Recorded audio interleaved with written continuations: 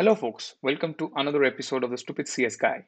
This time, we'll do something different. We are going to learn and understand the internals of a highly available key value store. Now, why do we want to understand the internals? The key value store itself is a very, very complicated system. It employs multiple concepts of distributed systems and system design. By understanding how a highly available key value store works, we will know what are the concepts that are getting used, and we can use those same concepts while building or designing our distributed systems. Now, for doing this, we'll look at a very specific paper. We'll look at Amazon Dynamo. Not to be confused with DynamoDB. Amazon Dynamo is a the paper that came out in 2007 which talks about the internals of Dynamo, Amazon's highly available key value store. Amazon came out with a paper in 2007 talking about some of the concepts that they used to build this really high scale and highly available key value store. Now the paper is very advanced. The way I'll do it is I'll break up break it up into smaller parts and then we will go and we'll learn about all of the system design concepts that were used in building this highly available key value store. This will help you if, if somebody asks you to design a highly available key value store. Not only that, the concepts that I will introduce here, you would be able to use those in your normal system design interview question, questions as well. Some say the Dynamo paper ushered in a new generation of database technologies. Some of the concepts that you would see are things that we take, take for granted today, but in 2007, those were some of the new concepts. From a historical perspective, the advent of NoSQL databases came about from two important papers. One is Google's Bigtable, on which Hypertable, HBase, and all of those are based. And the second is the Dynamo paper, on which Cassandra, Riak, Aerospike, Project Voldemort is based. So whatever you learn in this paper, you could apply to all of these Dynamo family of database. We're going to look at the Dynamo paper, which talks about how Amazon's highly available key value store really works. We will approach this paper in exactly the same way as how we design systems. First, we will look at requirements and then we will look at the constraints. You can read about the abstract and the other parts offline. Those are fairly easy to understand parts. So we'll first jump into the system assumptions and requirements. Like if you're building a key value store, what would be the requirements that you would target? Let's see what Amazon did target. The first part is the query model. So you can see the query model here. This is a key value store. It's a simple read and write operations on a data item that is uniquely identified by a key. That's exactly what we would expect out of a key value store, right? You have a key and you get the value. And these values are JSON blobs so ideally, they would be in the order of few KBs, and they we would not expect them to be large files. And that is exactly what Dynamo expects also.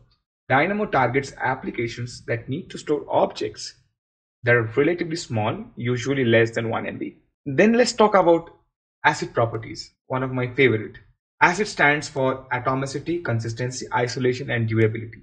This is something that we have been taught in our colleges and generally, uh, out of college, we are familiar with MySQL, which is database that supports ACID transactions. Now, Amazon says that ACID guarantees tend to have poor availability. And hence, if you see my videos, I keep on harping saying that when you're doing system design, try and use NoSQL. So this has been widely acknowledged by both the industry and academia. Dynamo targets applications that operate with weaker consistency, the C in ACID, if this results in high availability. Now this is going back to our CAP theorem and we will talk about this in much detail as to why Amazon had to make this trade-off. Remember that Amazon was building this because they wanted to build a highly available system.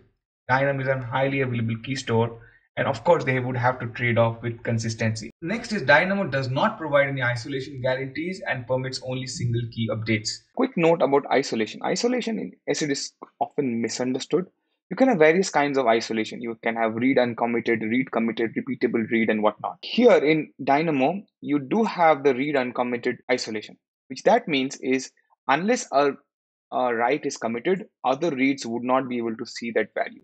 So if you have multiple connections to the database and each of these uh, requests to database are reading, unless one of the writes are actually successful and committed, the new value will not be shown uh, in other reads. Now for the other transactions in ACID compliant databases, in a transaction you can update multiple rows. And if one of the update fails, you you would roll back and you would not show the change at all. So those sort of isolations are not supported in Dynamo. Let's say for an API call, you read from the database two times the first value that you see and the second value that you can see might be very different so there is no lock uh, as to say that while i am reading nobody else will be able to write. And the same thing for you know multi updates so if you're updating multiple keys uh, you would not be able to synchronize saying if the last one fails i would uh, reverse the other ones. Or till the last one succeeds i would not show the new value of the other keys to the reads. That is those sort of isolations are not possible. And since there are no locks that is what makes dynamo very very fast next coming to the efficiency of course it should be highly efficient and that is the key driver for amazon to build such a system in amazon's platform services have to have stringent latency requirements which are in general measured at triple nines percentile of the distribution. Given that state access plays a crucial role in service operation, which is of course the state is very very important for service to operate, uh, the storage system must be capable of, of meeting very stringent SLAs. Services must be able to configure Dynamo such that they consistently achieve their latency and throughput requirements.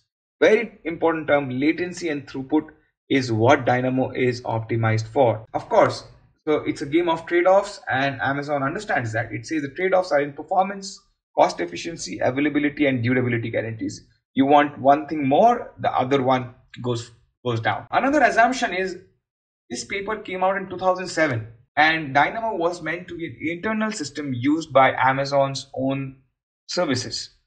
Which means some of the stuff like uh, authentication and authorization are out of scope and we are assuming that Dynamo is not is running in a non-hostile environment.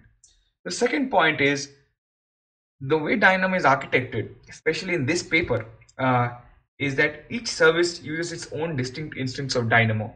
Think about the checkout service using its own distinct instance of Dynamo. Maybe the recommendation service maybe using its own distinct instance of Dynamo. And it's not like one Dynamo based DB for the entire org. That is why Dynamo targets scalability up till few hundreds of storage hosts. If it had to target like for the entire com company, this would be really, really less. Now that we know the requirements of the key value store, the second thing that we should know is what are the constraints of designing a system. Let's go into the constraint bit. So the key principles embraced in the design are first is incremental scalability. That means it should be very easy to scale out the Dynamo storage hosts. You can easily add or remove nodes based on your capacity. It should have minimal impact on both the operators of the system and the system itself. It, it should not be very difficult to add you know new storage hosts. Then the entire point of Dynamo would fail because if you have a flash sale and if you're getting a lot of data and if you want to add a storage host, if that takes a lot of time, then that's not good for your service. Second is symmetry. Very, very important.